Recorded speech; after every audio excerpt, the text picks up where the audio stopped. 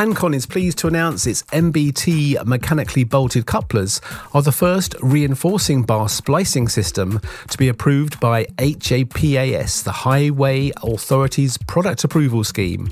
This approval provides independent assurance of the product's suitability for infrastructure work.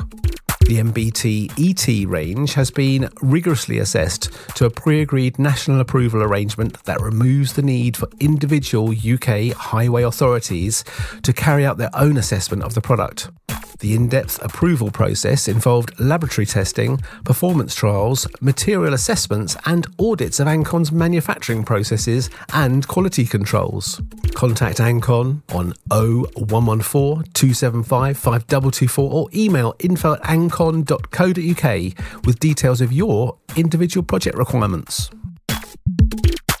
This product news item podcast has been produced in association with the BusinessNet Explorer product news and information channel. The full story for the item can be found using the search facility at www.businessnetexplorer.com. Just type the brand you are looking for into the search, then click on their logo to reach their profile page. This includes links to all of their latest product news items published in BNE Product News.